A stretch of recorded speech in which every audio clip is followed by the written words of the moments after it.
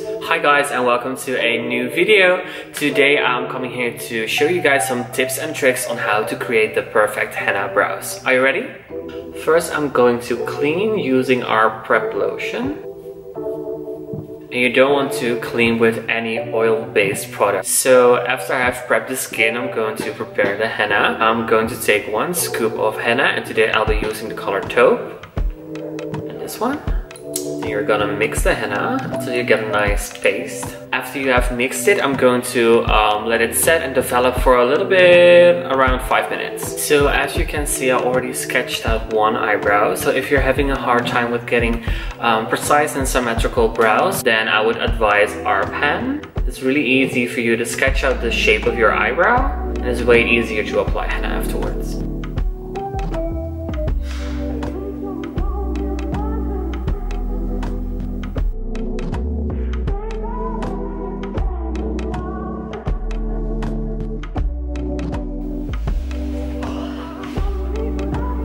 And after you feel like you have properly sketched them out, you can fill them in with henna. And I'm going to apply with our dual-ended brush. First, I'm going to use the angled side.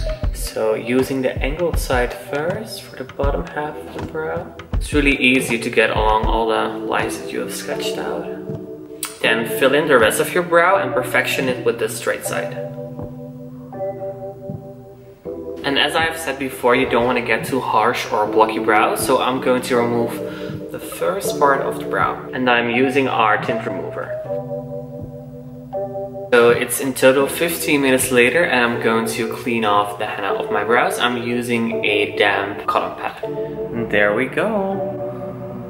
For more in-depth tips and tricks, uh, please take a look at our online courses or book your course at our academy. We hope to see you soon, okay?